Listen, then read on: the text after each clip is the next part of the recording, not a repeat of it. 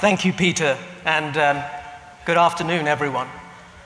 My goodness, how to uh, follow David.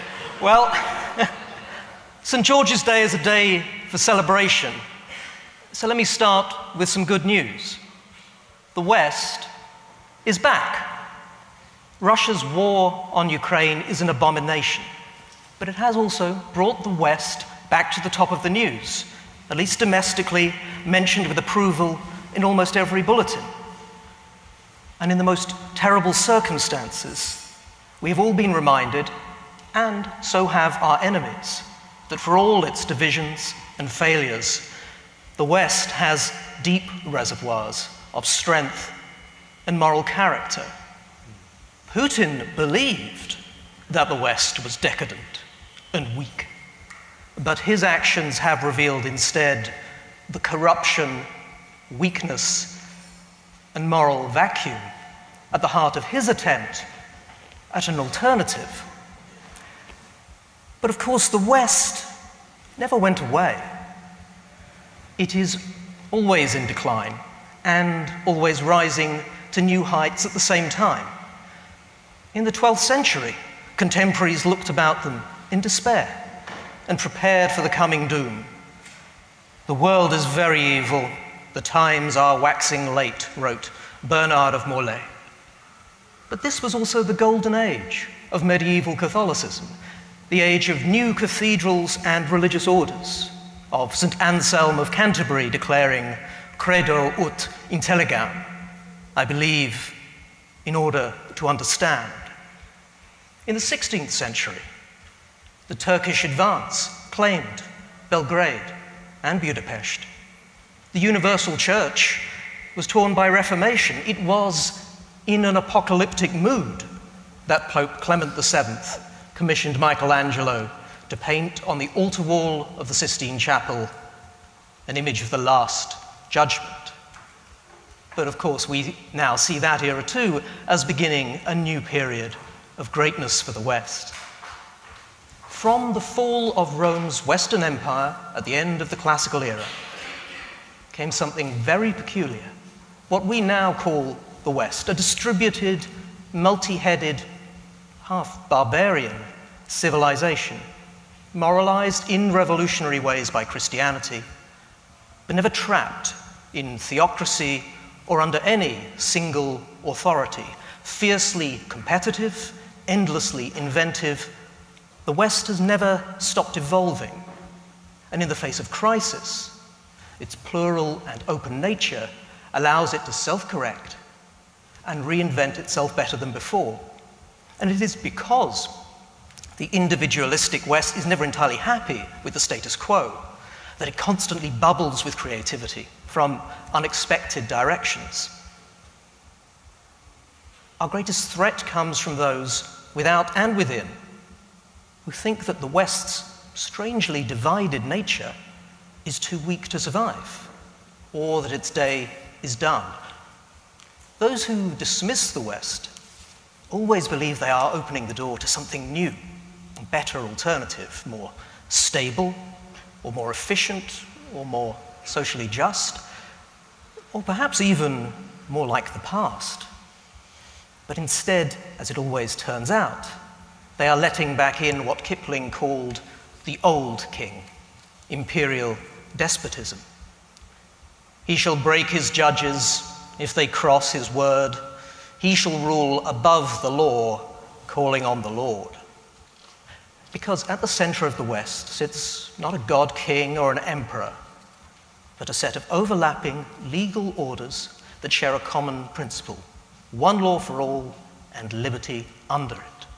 And this open system releases energy from below rather than needing to impose it from a strong man who sets himself above the law.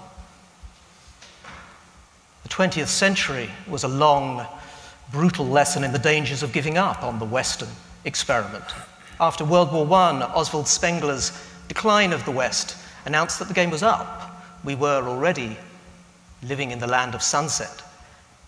And in his despair, he helped open the gates to terrible anti Western alternatives, Germany may not be able to produce new Goethes, he wrote, but it can produce new Caesars. The West carried on, proving him wrong and ultimately defeating the anti Western horror of Nazism before turning successfully to the task of recovering from that devastating war and then confronting Soviet tyranny. In 1952, with the West gripped by the Cold War, the BBC invited Arnold Toynbee to give its Reith Lectures. Unfortunately, Toynbee was a disciple of Spengler, though of a new kind, a true believer in what Hugh Trevor Roper called messianic defeatism. And characteristically, Toynbee used his lectures to denounce the West as the arch aggressor of modern times.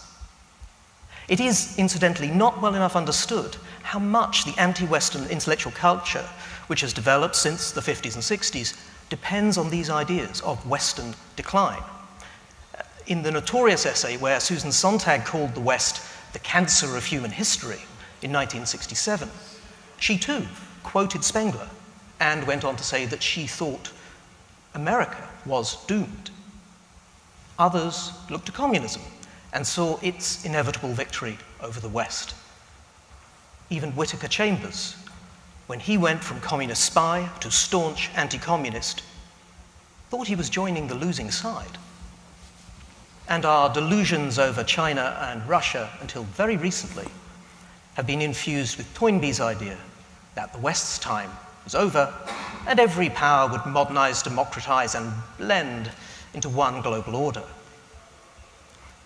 Toynbee was part of a defeatist culture that continues to embolden our enemies and weaken the West from within. But the West is strong enough to survive such folly. And he did not, of course, have the last word. Even at the time, there was a furious response to his lectures. The West's leaders may sometimes try to surrender, but our lack of deference to central authority means that any such surrender will never be final.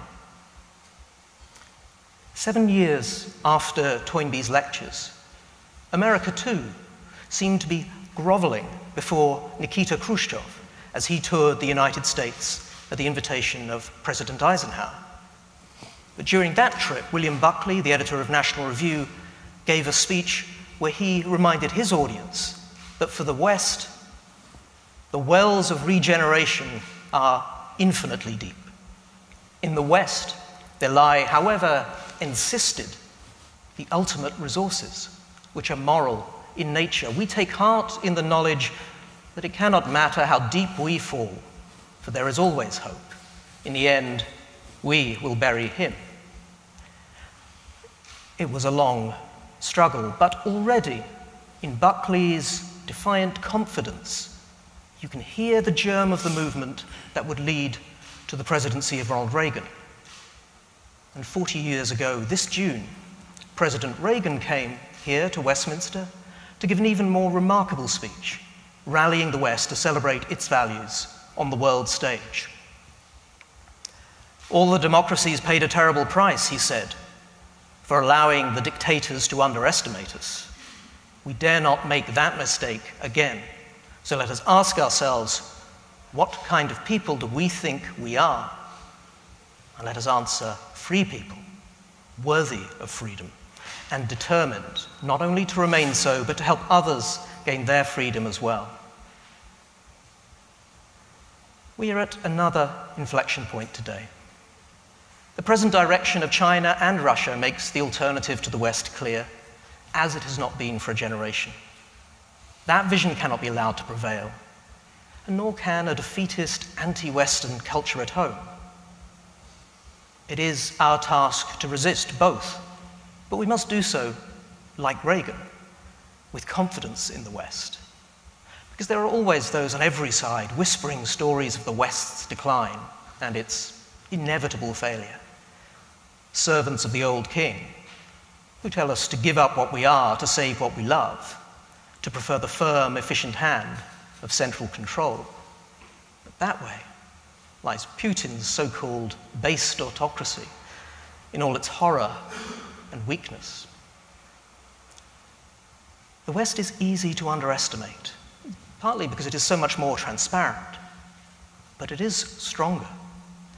And if you want proof of that, look to Ukraine.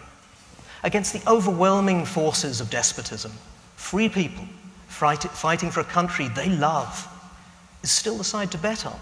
And it is this unexpected truth that underpins the West's success. It always has. Freedom is an excellent thing, wrote Herodotus in his histories. The Athenians, while they continued under the rule of tyrants, were not a whit more valiant than any of their neighbors. No sooner had they shook off the yoke than they became the first of all. While undergoing oppression, they let themselves be beaten, since then they worked for a master. So soon as they got their freedom, each man was eager to do the best he could for himself. And two and a half millennia later, this is still the West's secret strength. Our enemies believe that the freedom we cherish is weak and decadent. They are wrong.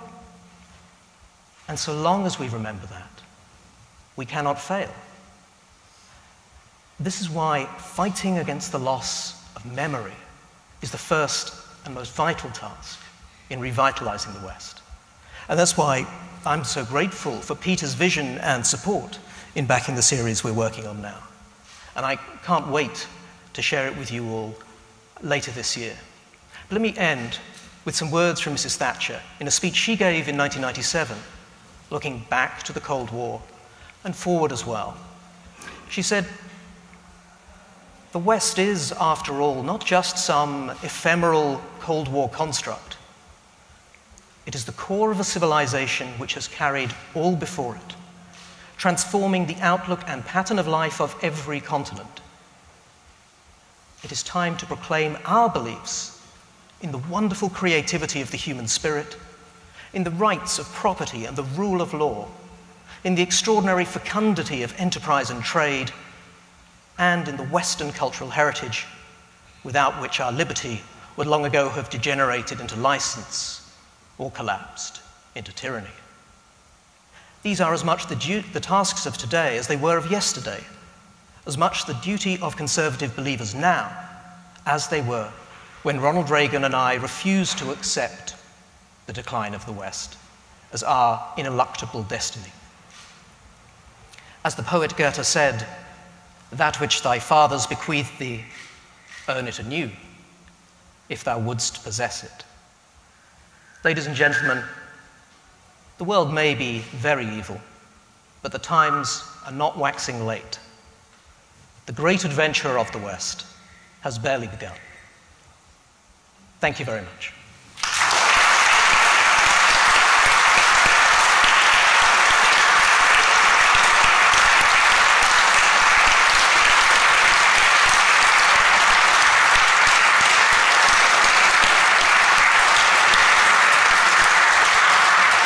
Uh, ladies and gentlemen, we, uh, some questions, some brief questions from the floor for Marc um, before we have our tea.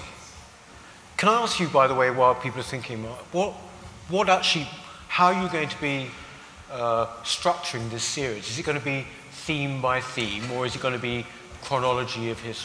There, there's a sort of uh, rough chronology, but um, we're going to start out, which actually is, is, how Kenneth Clark started out too, after, at the fall of Rome, rather than uh, looking at the, the, sort of Greco-Roman antecedents.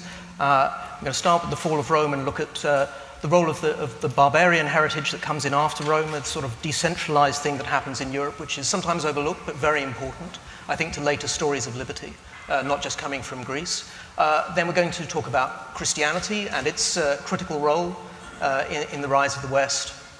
And then we're going to talk about the division of authority and the, and the rule of law uh, as well. So those are the, the, three first episodes that sort of the first half, and that sets up sort of the core foundations.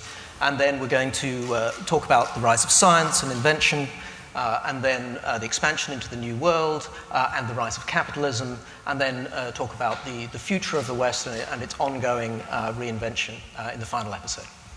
I think it sounds a bit like or if one can think in such grand terms, uh, you know, Kenneth Clark's Civilization. If we, if we could aspire to that. Something to aspire to, yeah, sort of pocket version. Yeah. Thank you very, very much, Marc. Thank you. Um, ladies and gentlemen, before we go out, before we go out for our tea, um, tea or coffee, um, do join us uh, after we have Calvin Robinson here and Robin Aitken to speak. Um, so join us to the end of the day. It'd be lovely to see you again. Okay, tea time. Thank you. Hello. If you're enjoying the New Culture Forum channel and you believe in our mission, may I invite you to join our membership scheme at the link below or on our website, newcultureforum.org.uk. Our work is more important now than ever, and we have great plans ahead for the future, but we can't do it without your support. From as little as £3 per month, you can help ensure that we continue on our mission. As a member, you'll receive a range of benefits, including access to exclusive content, invitations to our private events, including here at our studios, free copies of our books, and much, much more, including, of course, our famous NCF mug. If you aren't able to become a member, then please help us by clicking this button and subscribing to our channel. It's completely free. Just remember to also click the bell icon so that you can get notifications when we post new videos. Thank you.